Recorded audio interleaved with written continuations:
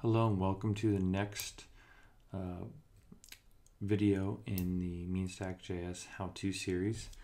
In this one, we are going to be looking at end-to-end.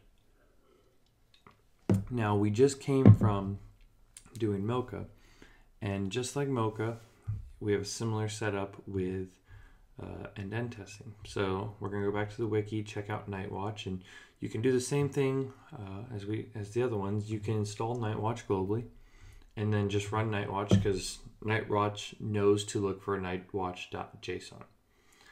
Now, you could also run npm run e to e. So let's come over here and let's take a look at it.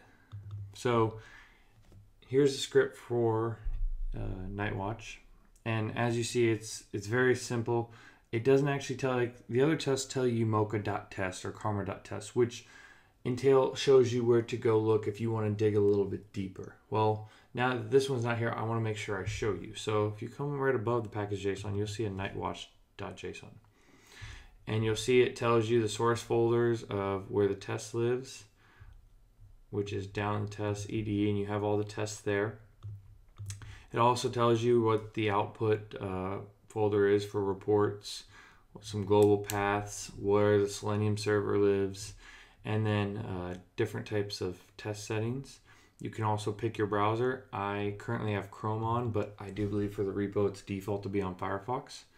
So here's a little bit digging into it deeper. Uh, I'm not actually going to go in and run a bunch of the tests right now, but I'll just go back over to it and show you how to start it. npm run e2e.